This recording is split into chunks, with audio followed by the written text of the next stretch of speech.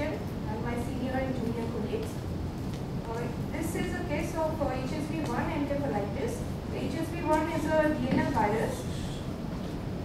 Its genome consists of a double-stranded DNA. It is responsible for most of the causes of sporadic fatal encephalitis worldwide. The routes of entry are, it may be immediate CNS invasion via the trigeminal nerve or olfactory nerve tract following an episode of primary HSV1 of the oropharynx, which usually occurs in young patients who are non-immune. And it may be CNS infection after an episode of recurrent HSV1 infection, which is believed to represent viral reactivation with subsequent spread. And the third route of entry is actually reactivation of the infection which is present in the dormant state within itself, in the ganglion. The signs and symptoms of uh, HSV1 encephalitis are focal neurological findings, usually altered mentation, level of consciousness, focal cranial nerve defects, hemiparesis, dysphagia, aphasia, ataxia, or focal seizures. Patients usually have a history of fever. There are other neurologic symptoms including urinary and fecal incontinence, aseptic meningitis, localized dermatomal rashes, and sometimes may present with GB syndrome. Later in the clinical course, patients may present with sequelae of diminished comprehension, paraphasic spontaneous speech, impaired memory, and loss of emotional control. Coming to the diagnosis, the lab abnormalities on CSF examination show a lymphocytic pleocytosis, increased number of erythrocytes, and elevated protein. PCR of the CSF is a gold standard for establishing the diagnosis of herpes simplex.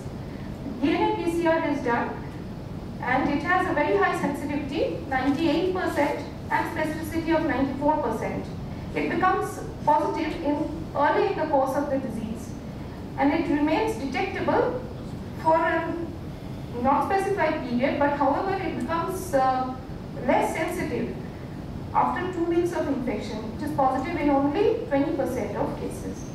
The use of PCR for the diagnosis of HSV1 has now led to the identification of atypical forms of HSV and it has almost replaced brain biopsy for diagnosis. HSV1 glycoprotein antigen and antibodies to HSV1 glycoproteins, they can also be found in the CSF but it is of limited value because they become positive after 10 days of infection. So by the time we, we will lose a lot of time for intervention. This is the electron microscopic view of HSV1.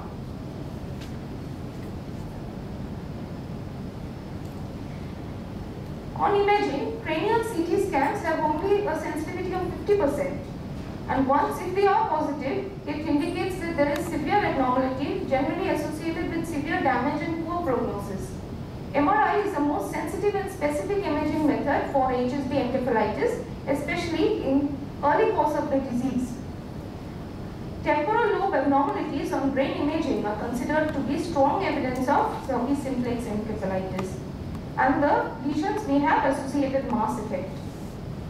Brain perfusion SPECT studies of patients with viral encephalitis and CSF antibodies to HSV have shown increased accumulation of radiotracer in the affected temporal lobe. Now EEG abnormalities are usually present in 80% of the patients showing intermittent high amplitude slow waves, delta and theta slowing and occasional continuous periodic lateralized epileptiform discharges in the affected region. Many of the EEG findings may be non-specific. Brain biopsy, it is now of limited value, but they can be examined for the presence of HSV by culture or HSV antigen by immunohistochemistry or viral DNA by in situ hybridization. Pathological examination of involved regions may show areas of mononuclear inflammation with perivascular cuffs, focal infiltrates of inflammatory cells. Management of the patient. Initial management consists of supportive care, maintaining the breathing, circulation, airway, and nutritional and fluid support. management of increased intracranial pressure by head end elevation or furosemide and sometimes patients may require intubation with hyperventilation. Mannitol may also be used to reduce the ICP. Manifestations of HSV can resemble seizures, which also occur very frequently. If the patient has seizures or if EEG abnormalities are present, then anti-epileptics should be started. Benzodiazepines can terminate an acute uh, attack of status epilepticus, but they are short-lived, hence you have to go for long-term treatment of seizures with anti-epileptic drugs. Specific treatment with acyclovir. Adult dose of acyclovir is 30 mg per kg per day in three divided doses given IV. The antiviral should be started at the suspicion of the HSV1 encephalitis. We should not wait for a diagnostic result. Once the diagnostic results come, if they are not confirmatory of HSV1, we can always stop acyclovir. But it should be started early, otherwise patient will have a bad prognosis.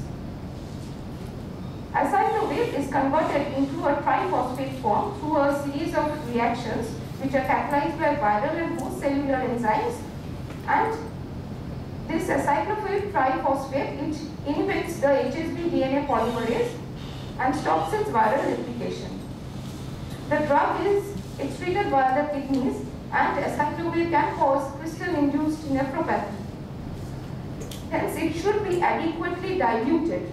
About 1 ml of fluid for each 10 milligram of acyclovir.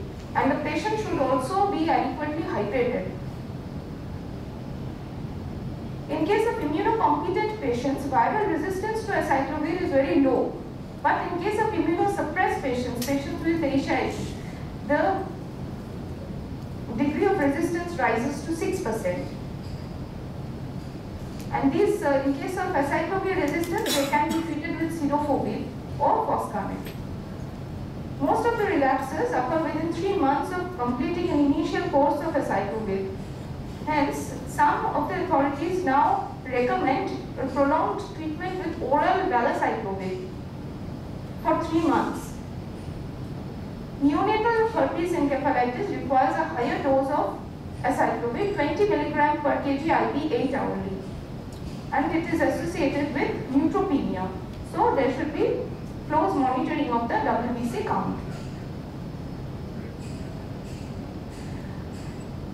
There is, there may be some role of steroids in uh, herpes encephalitis because part, some amount of the cellular damage is caused by the immune-mediated inflammatory process.